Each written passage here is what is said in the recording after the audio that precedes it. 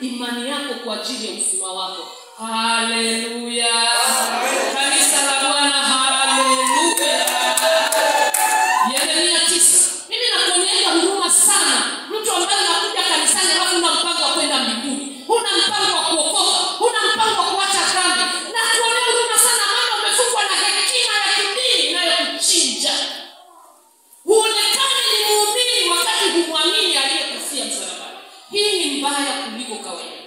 afadhali mpagani tutamtembelea?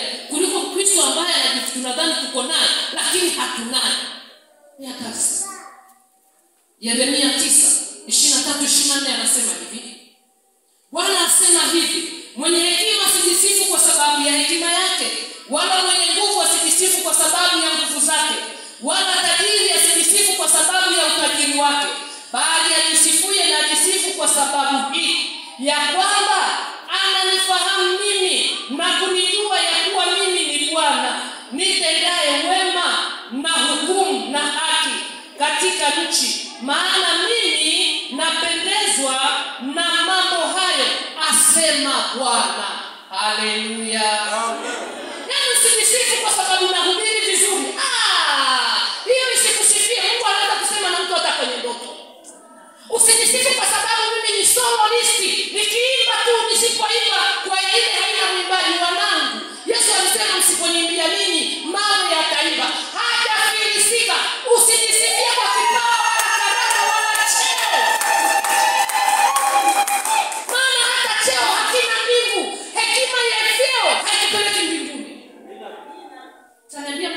mbona nini. Bwana ameniita kwa nafasi hiyo kwa mapenzi yake wala si kwa mapenzi yako mimi ninachong'ang'ana niende mbinguni maana sitalala kwenye jeneza la ukuajiro nitalala na yesu aliyeniokoa toka nikiwa nikiwavisha mtoto. Haleluya!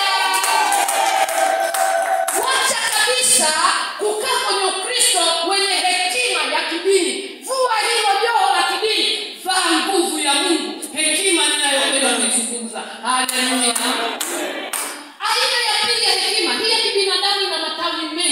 ningesema tuielezee tunaweza kukesha. Lakini anasema anayejisifu asijisifu kwa sababu ana mali.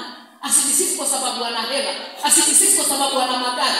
Asijisifu kwa kwa kajenga nyumba hata ya ghorofa. Asijisifu kwa sababu kajenga nyumba nzuri ambayo kila mtu akipita na adimaya